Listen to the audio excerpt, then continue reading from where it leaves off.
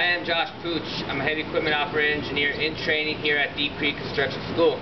Today I'm going to demonstrate how to cut steel using an oxy-acetylene cutting torch. Let me demonstrate.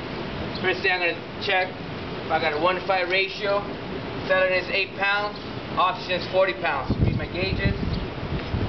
Right at 8, right at 40.